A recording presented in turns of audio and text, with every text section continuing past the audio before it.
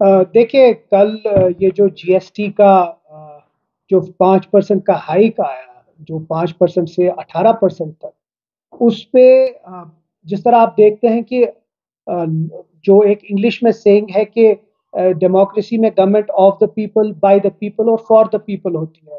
यहाँ तो for the people है ही नहीं। आप एक तरफ़ से लोगों को जो, चाहे वो कोविड की सिचुएशन हो या उसके साथ जो इकतसादी हालात हैं गरीब लोगों की इतनी ज़्यादा खराब है। उसके बाद अगर आप चावल, दूध, बटर, ये गेहूँ, इन चीज़ों पे अगर आप टैक्स लगाते हैं, पाँच परसेंट जीएसटी लगाते हैं तो वो गरीब लोग जाएँगे कहाँ? आप ये कीजिए कि इस मुल्क में साठ परसेंट लोग रूरल इंडिया में रहते हैं, जहाँ न्यूट्रिशनल डाइट्स नहीं मिलते हैं, और दो वक्त की रोटी जिसको कहते हैं हम, दो वक्त की रोटी लोगों को नहीं मिलती है। अब आप जैसे एक नॉर्मल ये जो न्यूट्रिशनल फ़ूड होता है, उस पर भी आप टैक्स लगाएँगे तो फिर लोग जाएँगे कहाँ? ये लोग, ये ये जो हुकूमत है, ये किसके लिए है? ये लोगों के लिए है कि कॉरपोरेट हाउसेस के लिए है? ये उनके लिए जिनकी, जो जो ये बड़ी बड़ी कंपनी पैसा बना रही है इसमें, ये उनके लिए है? कि ये आम लोगों के लिए जो बेचारे आज तरस रहे हैं कि दो दो दिन की रोटी उनको मिले। तो इसीलिए हम अपील करते हैं, हमारे एम भी इस पे पार्लियामेंट में बात करेंगे हर जगह हम अपनी बात उठाएँगे कि जो जो ये जीएसटी का जो ये लागू हुआ है, इसको ये रोल बैक करे और किसी तरीके से लोगों तक इंस्टेड जहाँ आप लोगों को आज नौकरियाँ देनी थी लोन्स देने थे छोटे छोटे बिज़नेस होल्डर्स को किसी तरीके से कोई रफाकत पहुंचानी थी, आप उल्टा उनके ऊपर और बर्डन बना रहे हैं, जिसके कारण लोग रास्तों पे आ जाएँगे। इसीलिए हम अपील करते हैं हुकूमत हिंद से और स्टेट गवर्नमेंट से भी। कि स्टेट गवर्नमेंट हुकूमत हिंद के साथ ये बात उठाए और एटलीस्ट जम्मू और कश्मीर में जो जीएसटी का जो ये है, वो लागू ना हो जाए। देखिए वही तो हद है कि जो जो गरीब लोग जहाँ जाते हैं, जैसे आप अगर एक कमरा लेते हैं, उस पर आपका जीएसटी आता है।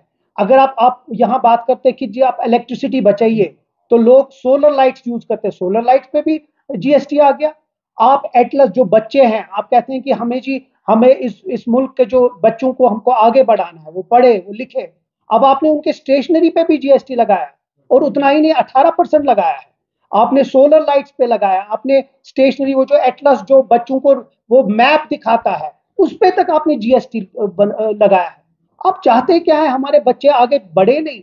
जहाँ पूरे मुल्क में, चाहे वेस्ट हो या यूरोप में, वहाँ पढ़ाई फ्री होती है छोटे बच्चों के लिए।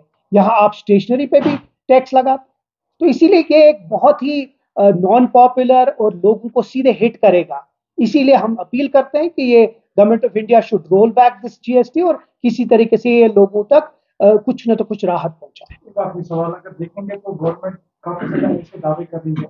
जीएसटी पीपल फंडिंग है। इसमें ये भी बात की जा रही है कि जीएसटी से काफ़ी ज़्यादा यहाँ पर इकोनॉमी जो है बूस्ट हो जाएगी। तो आप मानते हैं कि दावे सारे बुनियाद सर ये एक रॉकेट साइंस नहीं है।